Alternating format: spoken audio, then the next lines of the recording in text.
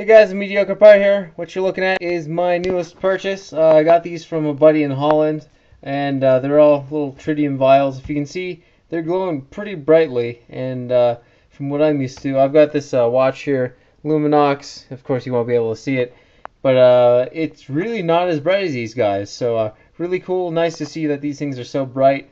Plan to make a, a couple little lanterns and things, maybe little lanyards and whatnots, um, but really cool stuff. Uh, glows continuously for uh, 10 to 25 years, depending on who you look at. But I got some pretty big ones, some uh, 3 by these are uh, 3 by 25 millimeters, really tiny ones, 1.4 by 3.5 millimeters, and then a 2 by 12. So really cool. Uh, these things were a little bit pricey.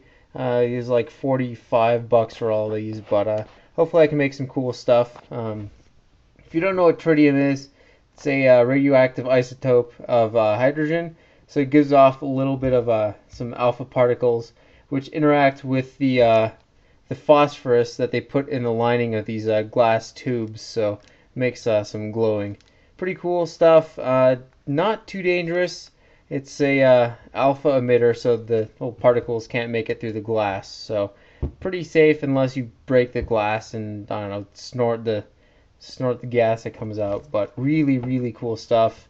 Um, it's actually pretty bright in real life. Uh, I'd compare this one to uh, like a little glow in the dark strip, um, like a high quality glow in the dark uh, uh, paint on a watch. Um, these things are just as bright. So really happy and uh, can't wait to start making stuff out of them. So anyhow, thanks for watching. See you guys later.